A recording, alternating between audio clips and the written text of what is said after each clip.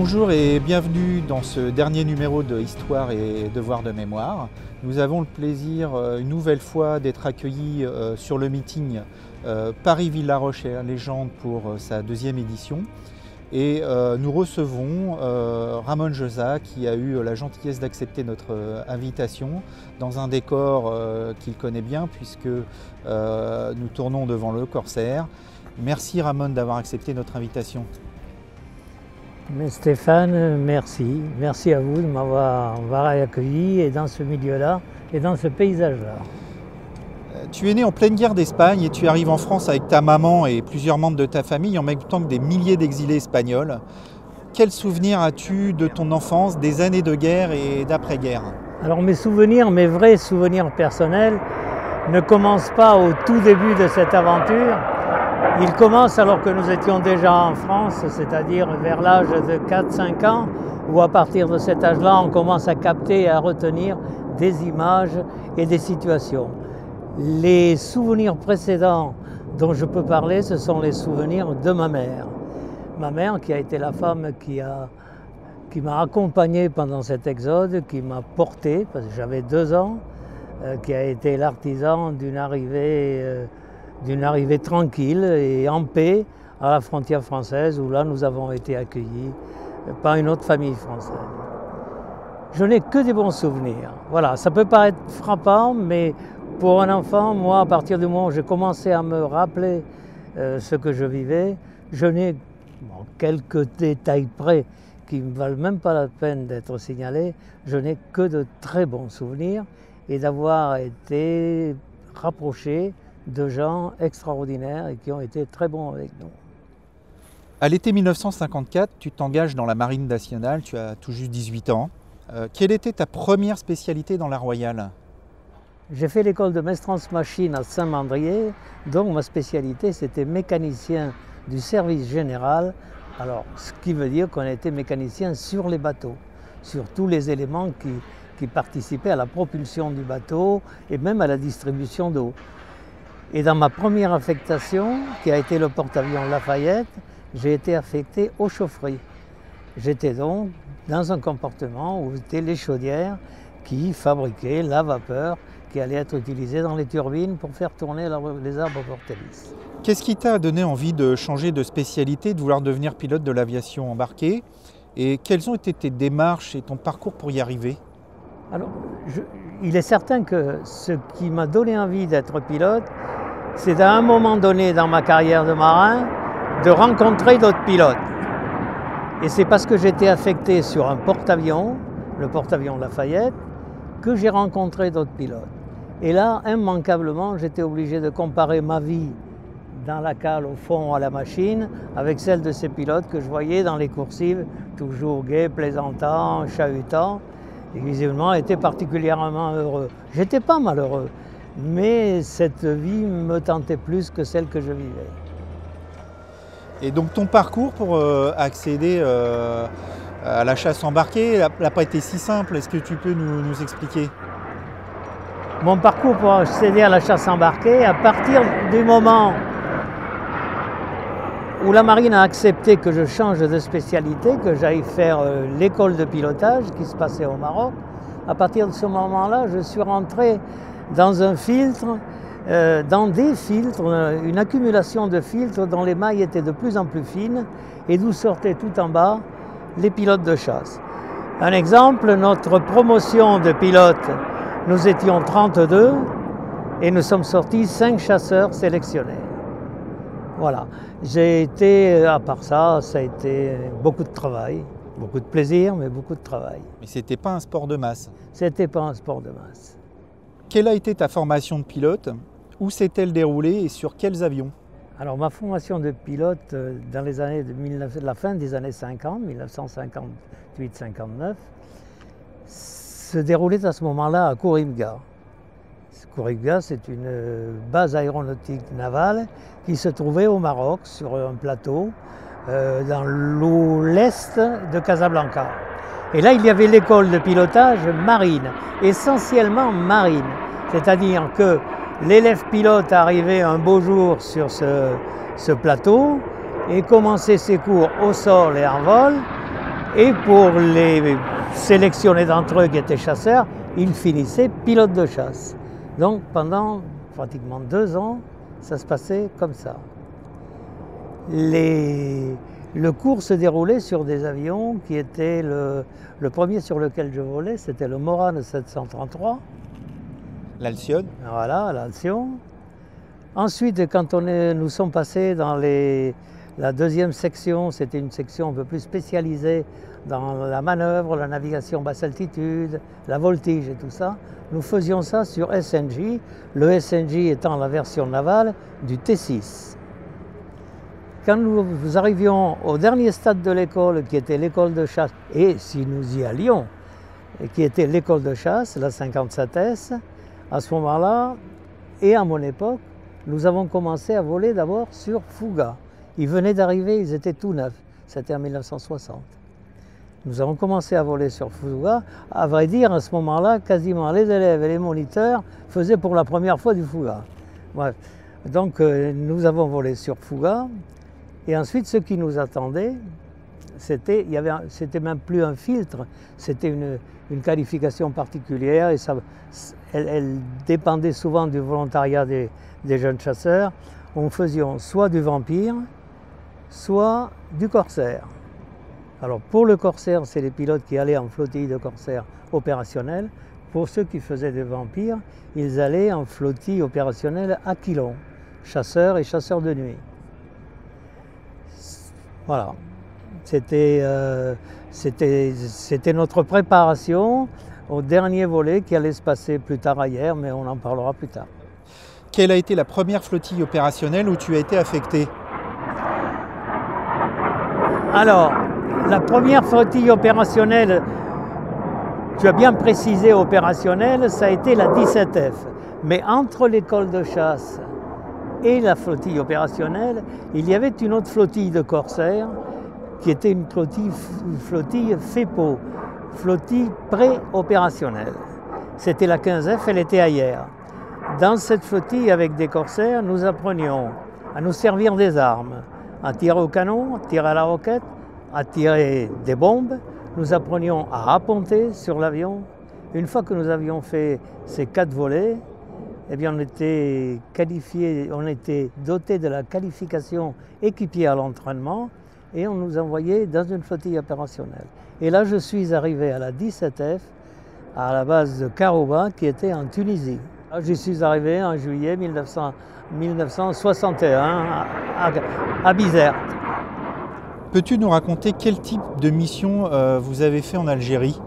Alors en, Algérie, nous avions euh, plusieurs types de missions. Nous avions des interventions sur alerte. Alors toutes ces missions étaient des missions d'attaque au sol. C'était des missions soit pour détruire des objectifs prédéterminés, ça, ça faisait l'objet de ce que nous appelions des assauts à temps, le, vol était préparé, bien préparé par une patrouille parfaitement désignée et on décidait, le chef de patrouille décidait, ou le commandant décidait de partir à telle heure. Et nous faisions cette mission-là. Sinon, en dehors de cela, nous étions, faisions une alerte dans la salle des vols euh, avec à deux avions, c'est-à-dire il y avait deux pilotes qui étaient en alerte. On s'était déjà briefé sur la météo, sur les armes qu'on emportait ce jour-là, qui étaient sur les avions. Et sur un, petit bureau avec un poste de radio et un téléphone, il y avait un garçon qui était un armurier qui lui recevait le déclenchement de l'alerte avec les coordonnées de l'objectif. Et quand il recevait les déclenchements de l'alerte, il nous les transmettait immédiatement. On bondissait parce qu'il était question de faire le plus vite possible, sachant qu'on intervenait, c'était au profit de troupes au sol qui étaient peut-être dans un mauvais pas. C'était souvent le cas d'ailleurs. Ce n'est qu'à ce moment-là qu'ils demandaient l'appui aérien. Donc c'était ce genre de mission. C'était des missions à temps d'assaut, des missions sur alerte. Nous faisions un troisième type de mission qui était des reconnaissances armées. Une zone qui était déterminée comme une zone euh, interdite, zone interdite où rien ne devait bouger dans cette zone-là, absolument rien. Une zone d'exclusion en quelque sorte. Zone d'exclusion et elle servait de tampon entre le désert et les, caravanes venant de sud, du sud qui, qui alimentaient nos adversaires, pardon, en armement et en médicaments, enfin tout ce dont ils avaient besoin. Quelle a été ta transformation sur chasseur à réaction? Alors elle est venue naturellement à la fin des, corsaires. C'était dans les années, c'était en 1963. Bon, les flottilles allaient passer du corsaire au réacteur.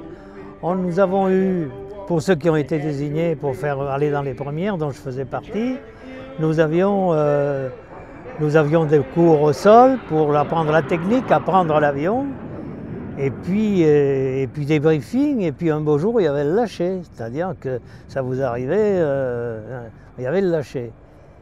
J'ai un souvenir que j'aime bien raconter de ce lâcher le lâcher parce que personne ne connaissait bien cet avion, sauf les pilotes d'essai.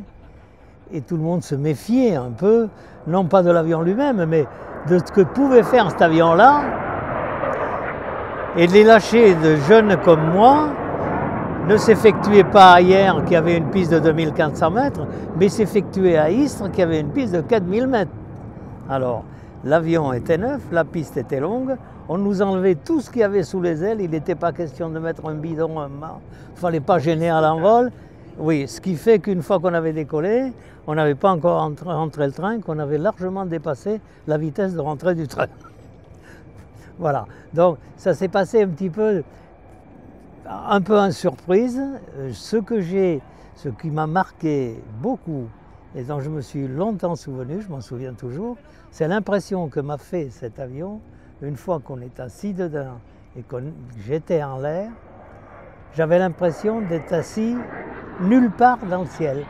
J'avais pas d'avion devant moi. Alors que, imagine-toi dans le Corsair, regarde, tu vois, il y a 6 mètres de moteur, il y a les bords d'attaque, il y a tout l'avion qui est devant. Il n'y a pas grand-chose derrière. Alors que sur étendard, il y avait une, pointe qui doit faire 1m80 devant, avec un petit radar qui fait 30 cm de diamètre. Et puis tout l'avion est derrière. Alors, même pour voler euh, horizontal et voler droit, eh ben, on faisait appel aux instruments au début. Au début, bien sûr, très rapidement, euh, il en a été autrement. Mais enfin, ça nous a beaucoup Moi, ça m'a beaucoup frappé, ça. Comment s'est passée ta qualification à l'appontage euh, sur étendard Alors, ma qualification à l'appontage, alors là, ça n'avait plus rien à voir avec, la qualification aux raquettes en corsaire. Euh, pour moi, bien. J'avais à ce moment-là 70 appontages aux raquettes, mais ça ne m'apportait aucune expérience pour ça. Ça s'est passé un peu laborieusement parce que j'étais, j'étais, il y avait des choses que je ne faisais pas très bien, en particulier pour l'alignement, et c'était une époque où la, sanction tombait extrêmement sévèrement et très vite parce que tout était neuf, le porte-avions, les avions. Euh, les responsabilités étaient grandes pour ceux qui les avaient. Et, j'ai même failli me faire écarter de l'aviation embarquée. Ça ne m'a pas empêché de faire 800 appontages après, mais bon. Voilà. C'était une période de doute. Ça, a été une période de doute que je, je qualifie un peu aussi de période d'échec. Et puis, et, puis, et puis, je vais te dire, c'est une période qui m'a beaucoup enrichi pour l'avenir après, le mien d'avenir, ce, ce que j'ai fait après. Parce que j'ai j'ai adopté une attitude vis-à-vis à ces difficultés-là chez les pilotes, des plus jeunes qui sont en train de travailler pour essayer d'obtenir un calibre. J'ai adopté des attitudes que j'aurais bien aimé rencontrer quand moi j'ai eu ces problèmes-là. Voilà. Début 1968, tu embarques sur le Clem, le porte-avions Clémenceau. Quelle est la mission? Début, En mars 1968, nous embarquons sur le Clem, la flottille 17F, à laquelle j'appartenais à ce moment-là, avec un groupe d'étendards 4M et 4P. 4P étant l'étendard photo. Et on avait constitué ce groupe-là pour les besoins de la mission. La mission consistait à se rendre en Polynésie. Et il faut dire d'abord que c'était, elle était prévue durer neuf mois.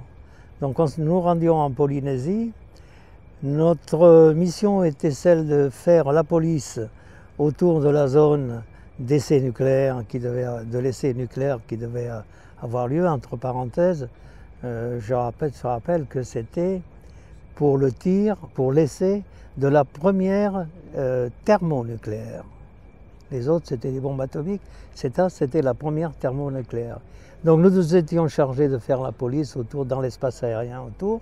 Nous y rencontrions d'ailleurs très souvent les Boeing 707 du Strategic Air Command des USA qui venaient photographier, sentir et, flairer.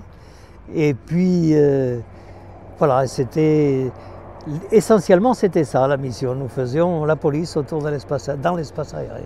Alors à 33 ans, tu as déjà une bonne expérience, 11 euh, ans de chasse embarquée, et tu deviens moniteur. Comment appréhendes-tu cette nouvelle responsabilité? Au début, je n'en voulais pas du tout. Nous étions sur le chemin de retour de Tahiti, et c'était à la fin de la, mission de la Force Alpha, et j'ai supplié le commandant qui a été voir le, chef opération, qui était l'amiral Claude, oui, l'amiral Claude. Et finalement, rien n'a pu changer. J'ai été désigné comme moniteur. Je n'ai pas eu gain de cause et j'ai été moniteur. Et je suis content de l'avoir fait. J'ai découvert ce métier. D'ailleurs, le premier qui m'en a parlé avec beaucoup d'expérience et, avec, en employant les mots qu'il fallait, c'était le commandant de la 59S à l'époque, école de chasse embarquée. C'était le capitaine de corvette Thiraud, qui était un, ancien pilote d'essai de l'étendard. Et, et m'a convoqué dans son bureau et m'a dit euh, Je sais que vous ne voulez pas venir chez nous. Il dit Mais vous n'y changerez rien, vous viendrez. Et puis vous allez être surpris, vous allez voir, on y travaille beaucoup, mais on y apprend énormément. On y enseigne beaucoup, pardon, mais on y apprend énormément. Il avait 100% raison. Et j'ai beaucoup aimé cette année que j'ai passée à la 59S, parce que là, j'ai pu m'exprimer, je pense, vis-à-vis des jeunes pilotes, avec ce que je te disais tout à l'heure, dans la relation qui consiste à aider, à aider, à aider. On est là pour aider, pas pour démontrer, pour aider. En 1970, tu retournes dans une euh, flottille que tu connais bien, la 17F, mais quelle y était ta fonction? Alors, en 1970, j'étais J'étais maître principal et je retourne. Ma fonction, j'étais, j'étais au, service vol de la flottille, mais compte tenu de mon âge et puis un peu de l'expérience aussi par rapport à tous les autres, euh, on m'avait bombardé de ce qualificatif qui est chef pilote, qui n'existe absolument pas dans l'organigramme d'une formation. Mais bon, le chef pilote, c'était le CIPAL, c'était voilà, c'était le vieux aussi. Après, comment deviens-tu euh, officier d'appontage et euh, volais-tu pendant cette période? Alors, je, deviens, je deviens officier d'appontage en 1973 parce que, bon, j'ai déjà, à ce moment-là, j'ai déjà 37 ans. Je me dis à ce moment-là que je ne vais plus rester, et je suis sous-officier, je suis maître principal, et je me dis, la, prochaine affectation, je vais aller dans un PCOPS, compter les cartes ou faire un... C'est pas possible, je ne vais pas rester en flottille. Alors, euh, bon, je me demandais ce que j'allais faire. Et un beau jour, le directeur de l'école d'aviation embarquée, ce que j'ai été plus tard, mais on, tu m'en parleras, euh, le directeur est venu, c'était le capitaine de corvette Rochard, et puis il m'a dit, je pense qu'il en avait parlé avec ses pilotes, ses OA, ses officiers d'appontage, et il m'a dit, euh, qu'est-ce que vous comptez faire, Josan J'ai dit, bah, écoutez, justement, bonne question, je ne sais pas. Alors il me dit, euh, est-ce que vous, ça vous dirait d'être officier d'appontage? Alors je lui ai dit, écoutez, commandant, je ne suis pas officier, euh, d'abord, je ne suis pas officier. Et là, il m'a fait une réponse, il dit, mais ça, c'est pas votre problème, m'a-t-il dit. Bon, en fait, je, il y avait à ce moment-là une passerelle qui permettait de devenir officier. Euh, à des gens qui avaient une expérience un peu comme la mienne. Nous avons été quelques-uns à prendre cette option. Moi, j'étais certainement le premier, ou un des premiers. Et donc, je suis rentré à l'école des officiers, oui, à l'EAE, à l'école de l'aviation embarquée, comme officier d'empontage. Et je ne suis passé officier, réellement, dans le grade, que sept mois plus tard, le juillet, suivant. Alors oui, pour les vols, oui, je continue à voler parce que tous les, officiers d'appontage, non pas qu'ils se doivent, mais il est bien qu'ils connaissent les machines qu'ils contrôlent, ça, ça, aide beaucoup quand on sait très bien comment ça se passe, vu du côté du pilote et de l'avion. Et moi, j'en étais toujours, pour ma façon de voir la chose, je me disais que c'était indispensable. En plus, j'aimais bien ça. Donc, c'est pas la période pendant laquelle j'étais officier appontage. Je me suis fait lâcher Alizé, Crusader, et j'ai apponté sur les deux, alors que j'étais officier d'appontage. Et je volais souvent. À l'époque, dans l'aviation la, embarquée, euh, le carburant n'était pas distribué d'une manière aussi drastique, euh, donc on, pouvait voler. Les officiers d'appontage pouvaient voler. Et je voulais, je ne m'en privais pas.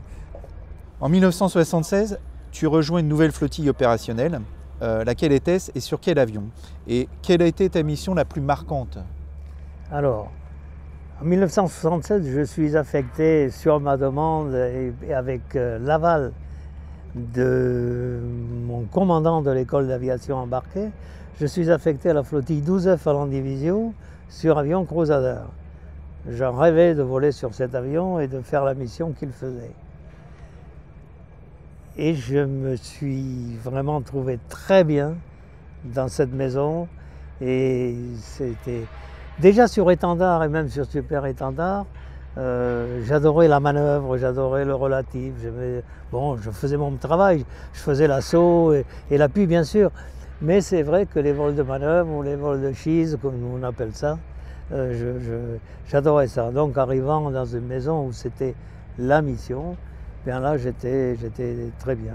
Les vols les plus marquants, alors d'abord le plus marquant euh, que j'ai, ce qui m'a le plus marqué sur cet avion, c'est l'appontage de nuit. L'appontage de nuit, j'ai trouvé ça très dur. J'ai trouvé ça très dur et je sais pourquoi. J'ai trouvé ça très dur parce que j'étais, ça peut paraître curieux de m'entendre dire ça, j'étais trop expérimenté je voyais trop tout. Je voyais trop de choses. Je voyais.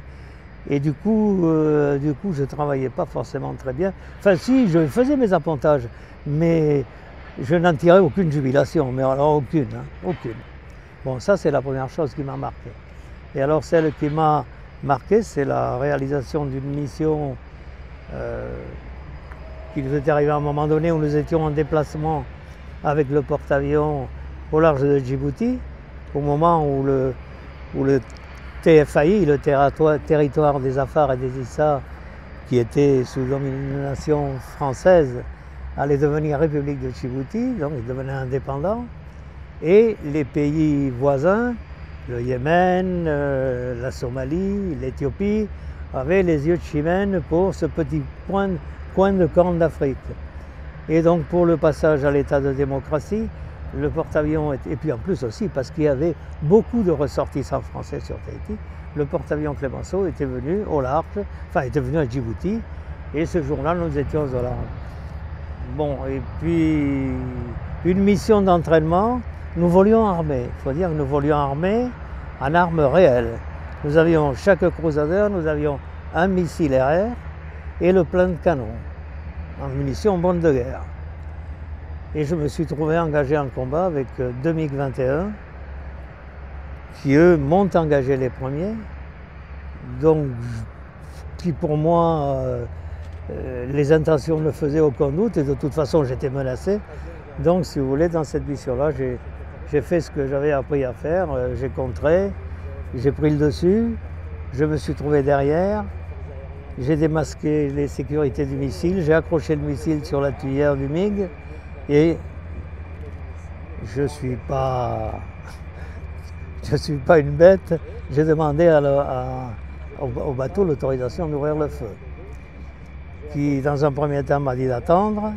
Et je leur ai dit que je ne pouvais pas attendre toujours quand même, parce que j'en marquais un, mais l'autre était déjà en train de tourner vers moi. Et finalement, il me dit non, moi, rentrer sur la base. Bon, puis finalement, rentrer à bord. Et finalement, j'ai repris à vue le deuxième crusader qui nous avait perdu de vue. On a, une fois qu'on a été deux, on a pu donc à ce moment-là les lâcher. Euh, ce que je sais, c'est que ces avions étaient armés de missiles électromagnétiques, bons de guerre, parce qu'ils n'étaient pas bleus, machin, ils étaient blancs. C'était des vrais missiles de RR. Euh, ils manœuvraient, les avions manœuvraient. Un, celui que j'ai pris pour cible, manœuvrait pas très bien. L'autre mieux. J'ai su plus tard.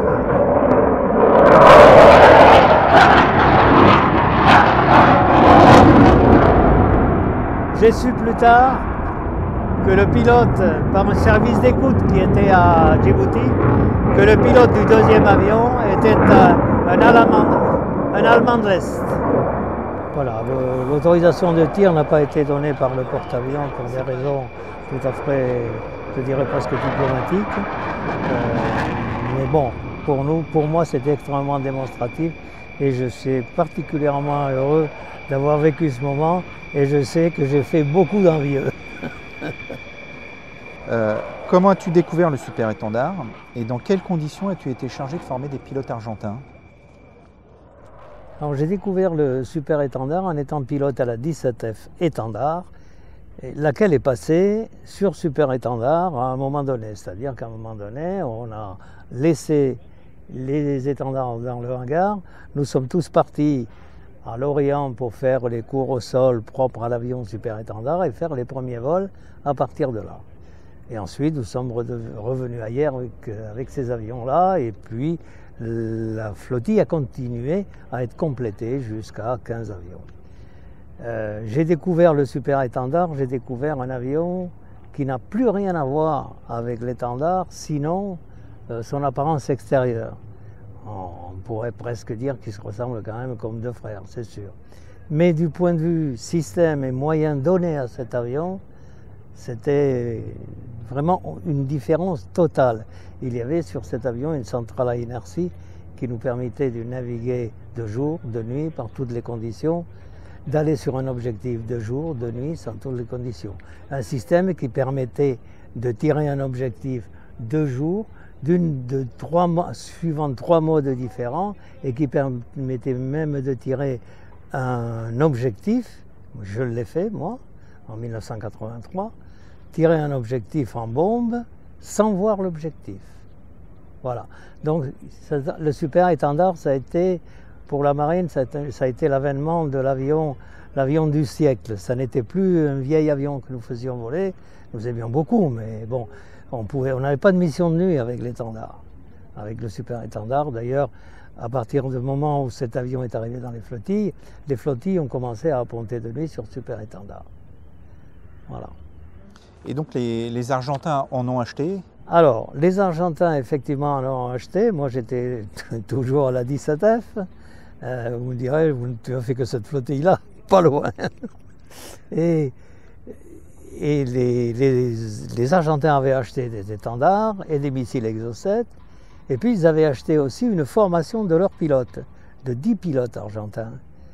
Et un beau jour, le commandant de la 17F, le capitaine de corvette Rossignol, me dit euh, tiens un message, on te propose, euh, on demande si tu es volontaire pour être affecté à l'Andivisio dans un petit groupe qui va former les pilotes argentins.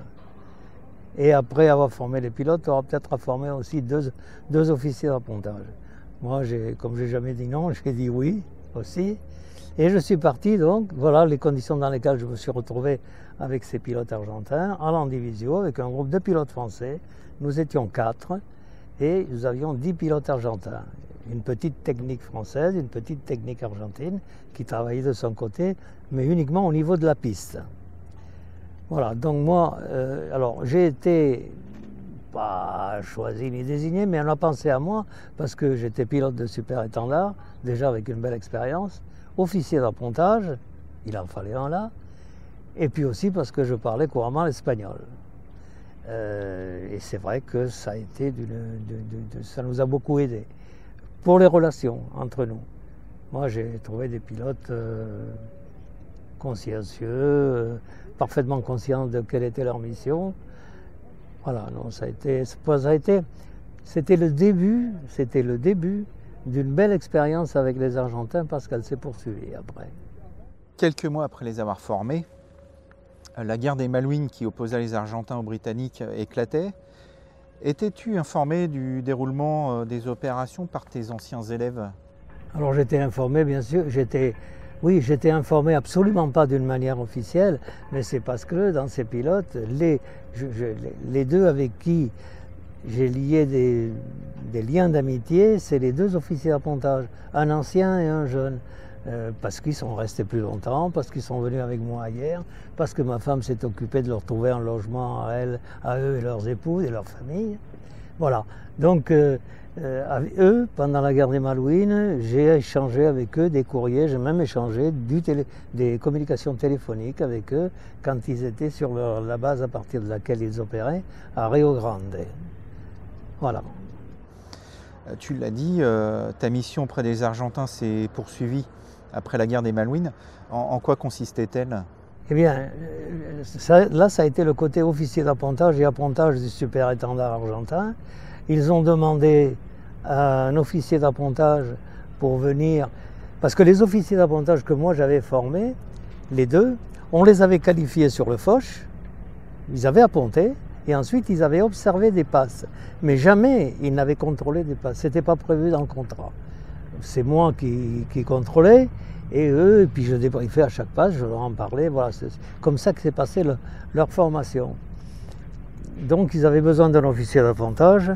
Et je crois savoir qu'ils m'ont demandé nominativement. Voilà. Donc euh, déjà je ne pouvais pas refuser, mais je n'avais pas envie du tout de refuser de toute façon. Donc je suis parti en Argentine pour les entraîner sur leur base, à la base Commandante Esporra, à, Rio, à Bahia Blanca. Et à partir de là, nous allions sur le, porte-avions argentin où ils faisaient leur qualification. Alors le contrat que moi j'avais, c'était donc les qualifier sur piste. Là, je commençais à faire travailler l'officier d'appontage argentin, même pas mal.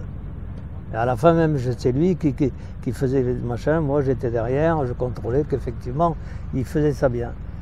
Et puis, nous sommes allés à bord. Alors, je suis allé à la plateforme arrière pour conduire la qualification de l'officier d'appontage, bien évidemment, argentin, il fallait qu'il soit qualifié sur son bateau, du commandant de l'escadrille, de la flottille, enfin ils appellent ça l'escadrille, les Argentins, et du commandant en second. Quand ces trois-là ont fait leurs six appontages et leur touch and go satisfaisant, euh, c'est l'officier d'arpentage qui, avec moi derrière, a pris le contrôle de la qualification des autres. Est-ce que tu peux nous parler des opérations au Liban? Oui, oui, oui, oui, je peux en parler. Ça, ça reste dans ma carrière, ça reste euh, un passage euh, extrêmement dense en émotion, en, en conduite euh, au bout de son devoir, de, ce que j'avais à faire, de, pourquoi j'étais dans la marine, pourquoi j'étais pilote de chasse. Euh, voilà, c'était. On venait de souffrir d'une l'attentat de Drakkar. On avait perdu 57 parachutistes, on avait 57 Français qui étaient morts d'une manière euh, complètement abominable. Et, donc cette mission, la mission, on nous a on a monté une mission, oh non, c'est pas nous qui l'avons montée. On a eu quelque chose à dire, mais enfin, c'est pas nous qui l'avons montée. Une, mission qui était une riposte à cette attaque. Et elle consistait à détruire une caserne aux alentours, aux environs de Balbec. Voilà. Donc euh, j'ai fait partie de cette mission-là. J'avais déjà une petite expérience parce que j'avais conduit en tant que leader un bombardement précédent euh, sur une batterie syrienne de canons qu'on avait parfaitement réussi, où j'avais été amené à tirer suivant le mode de tir dont je parlais tout à l'heure, sans voir l'objectif, dans les nuages. Et l'objectif a été complètement atteint.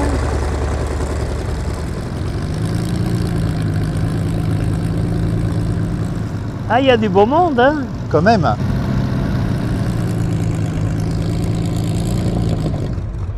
Voilà. Ouais, donc tu peux reprendre là où tu t'es. Euh, oui, alors attends, on était où déjà? Oui, je disais que l'objectif avait été complètement. Oui, voilà. l'objectif a été complètement anéanti. Bon, ça c'était ma première expérience. Et quand nous avons attaqué la caserne, eh bien voilà, nous étions huit avions, c'était un vol minutieusement préparé. Euh, nous devions avoir une aide des Américains qui attaqueraient avec d'autres types d'avions. Puis au dernier moment, l'amiral est venu nous, dire, nous parler un peu avant de partir aux avions et il nous a dit vous y allez tout seul, les Américains ne viennent plus. Alors euh, voilà, nous y sommes allés tout seuls. Ça a été un moment d'émotion pour tout le monde, je crois, parce qu'on comptait bien sur eux, pas tellement sur les avions qui attaquaient, mais sur les avions de surveillance électronique, de contre-mesure et de brouillage, de missiles, bien sûr. Et heureusement qu'il semble qu'il y avait de vrais liens d'amitié entre notre amiral, qui était l'amiral Bernard Klotz, et l'amiral Tuttle, qui était l'amiral sur le porte-avions américain, et que les avions ont été catapultés, les brouilleurs ont été catapultés, et ils ont fait leur job de brouillage et d'alarme euh, comme s'ils étaient en entraînement. Et nous en avons profité. Voilà, le Liban, ça a été ensuite, ça a été une, une, une déception cuisante, la façon dont ça a été médiatiquement euh, utilisé. Je dirais que nous, on a, on a beau dire qu'on a, ça ne nous touche pas, c'est pas vrai, ça nous touche beaucoup. Qu'on ait dit que notre travail, parce qu'on a dit n'importe quoi, que le travail n'avait pas été bien fait, comme non, nous, l'objectif, on a tapé dedans, on l'a détruit. Bon, il n'y avait personne, c'est un autre problème. Et puis nous, on n'était pas partis pour tuer du monde, on était partis pour attaquer un objectif. Un objectif, c'est ce que c'est. C'est soit, ça, ça, peut être des hommes, ça peut être des bâtiments, ça peut être un bateau. Bon, les bâtiments, ben, on les a tapés. Quel a été ton cheminement pour prendre ton premier commandement d'unité et quelle unité t'a-t-elle été confiée? Alors écoute, le cheminement, il, il, a été très simple parce que c'est venu tout seul quand nous sommes rentrés du Liban. Euh, on va dire, euh, comme toujours, que le temps des récompenses est venu, mais là, ce n'était pas un temps de récompense, c'était une inspection générale de l'amiral qui nous avait commandé au Liban et que je connaissais bien, pour qui j'ai un respect, une admiration sans, borne, paix à son âme. Et je pense que, j'étais quelqu'un qui l'appréciait beaucoup. Et il m'a reçu, comme tous les officiers de la flottille, et il m'a dit Qu'est-ce que vous comptez faire maintenant, euh, Josa oh, Je suis resté un peu. Euh, il me dit Est-ce que vous avez déjà pensé à commander une unité? Je lui ai dit Non, amiral, jamais. Il me dit Bon, ben moi j'y ai pensé. Voilà. Et donc, euh, il m'a dit Je vais vous proposer pour deux unités, ou l'une ou l'autre, mais ce sera une unité que vous commanderez. Pour moi, c'était une grande nouvelle. Je n'étais pas du tout parti pour ça. J'ai été désigné comme commandant de la 57S, qui n'est pas une flottille opérationnelle, qui est une escadrille qui dépend de l'aviation embarquée, qui était équipée à ce moment-là de deux Falcon 10 et de neuf Morane Paris, CM170. Et là encore, euh, j'étais pas, dans un milieu chasse, encore que j'avais beaucoup de pilotes de chasse avec moi, mais ça a été une expérience extrêmement riche. J'ai adoré ce commandement et ce que j'y faisais. Euh, voilà. En 1987, tu prends la direction de l'école d'aviation embarquée. Est-ce que, tu encore, euh, est-ce que tu arrives encore à voler sur chasseur et trouves-tu encore du piment dans ce commandement?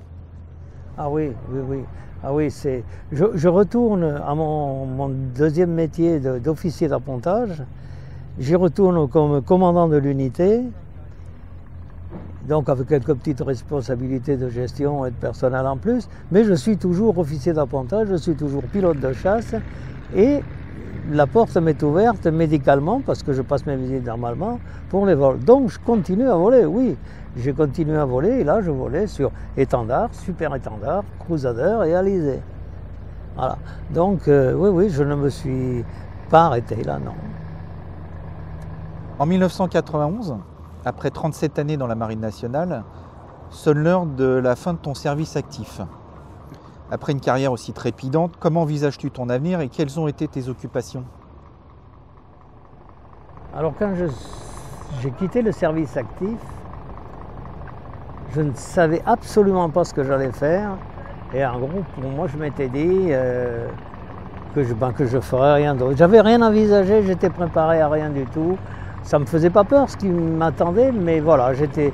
Je me souviens d'ailleurs que quand je suis descendu du super étendard après le défilé, devant moi la journaliste et puis le caméraman de, la télévision locale qui était venu régional, qui était venu m'interviewer, euh, m'a dit euh, vous allez sur, de toute façon vous allez faire de l'aéroclub. Euh.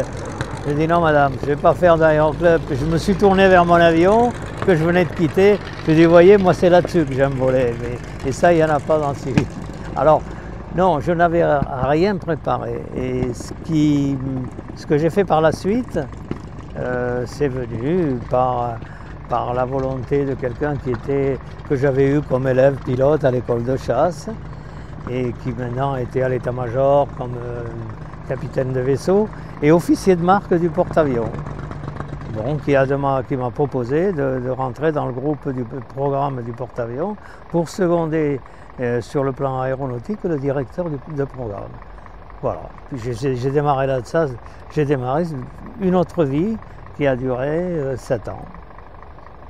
Mais où je me suis énormément épanoui aussi, parce que là encore, j'avais plein de choses à apporter avec mon expérience. Et d'autant plus que je venais juste de quitter mes camarades qui étaient sur le bateau, et je savais tout ce qu'on voulait sur le nouveau bateau. On en avait tellement parlé entre nous. donc je pense que je pense que j'étais, comme disent les Américains, the right man in the right place. place. Donc à, l'issue de cette euh, période à la direction des constructions navales, euh, tu as une seconde carrière, une carrière de pilote de présentation en meeting.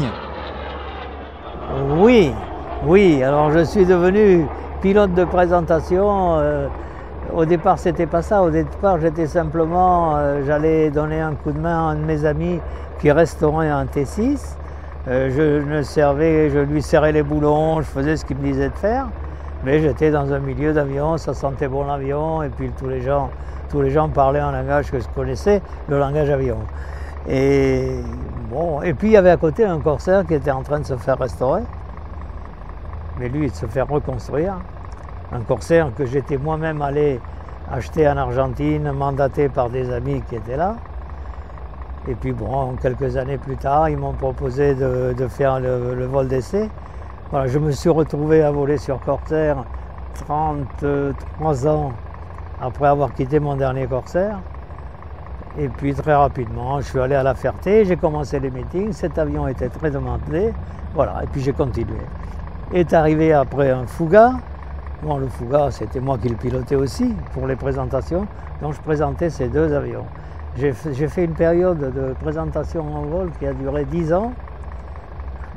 Là, je crois que je me suis régalé partout parce que là encore, j'ai pris beaucoup de plaisir.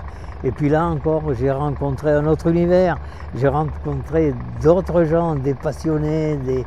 C'est voilà, c'est fabuleux. Je pense que en terminant comme ça, comme ma carrière, militaire, en la terminant comme ça, je terminais vraiment un homme heureux.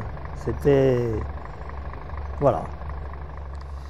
Alors, euh, Ramon, nos vidéos sont destinées à un large public, euh, mais la dimension éducative de notre association, le French Mila Commemorative Air Force, m'amène à te poser une dernière question, euh, à savoir quel message tu voudrais passer à nos jeunes? Alors sans prétention aucune, hein, simplement basé sur mon expérience et la vie que j'ai menée, euh, ce qu'il m'en a coûté par moment et les joies que j'ai ressenties par d'autres, dans d'autres, euh, je dirais qu'il ne, ne faut jamais, jamais lâcher le morceau, comme on dit. Si l'on s'est fixé un objectif, il faut faire tête sur cet objectif contre vents et marées. Il y a un moment donné où si la butée est trop grosse qu'elle ne dépend plus de vous, bon, ben, il faudra changer. Mais tant que vous n'en êtes pas là, faut pas abandonner. Il faut surtout pas écouter les voix euh, qui disent oui, mais avant c'était plus facile. Non, c'est toujours pareil. C'est toujours aussi difficile. Avant ça l'était, aujourd'hui ça l'est aussi. Donc il faut de la persévérance, du courage, du travail, de la persévérance. Dans n'importe quel métier. N'importe quel métier. D'ailleurs, dans mon livre, je parle d'une citation qui est, la suivante. Il y a une limite en toute chose et il faut la dépasser. Cette citation est de Georges Guilmer et je me la suis fait mienne. Eh bien, c'est une belle conclusion. Ramon, euh, je voulais te remercier pour euh, ta gentillesse, euh, ta grande disponibilité et également pour euh, ton humanité. Euh, merci. Merci à toi Stéphane. Si vous voulez aller un peu plus loin dans la découverte du parcours et de la vie de Ramon Josa, Ramon a écrit un livre qui s'appelle Marin pilote, servir en mer et dans les airs aux éditions JPO. Euh, Ramon aura l'occasion de le dédicacer euh, sur cette deuxième, euh, enfin, première journée de meeting du Paris Air Légende. Et c'est un livre qu'on vous conseille vivement. Merci Ramon. Merci Stéphane.